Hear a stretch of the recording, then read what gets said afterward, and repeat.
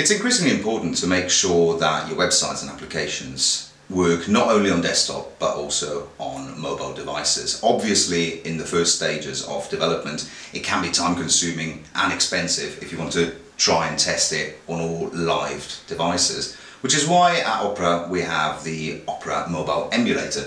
Uh, it's not an emulator as such, it's actually the same code that you would find in our real Opera mobile product installed on devices, uh, just packaged up for Windows, Linux and Mac as a standalone application.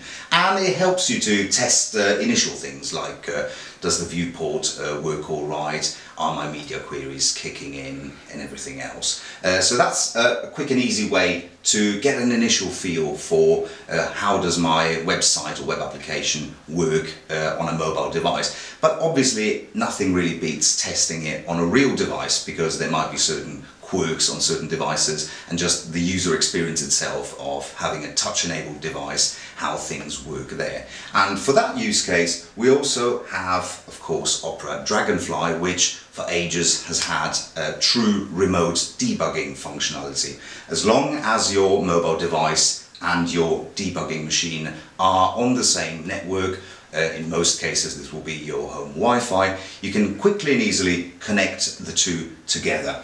You just prime your Opera Dragonfly to listen for incoming connections.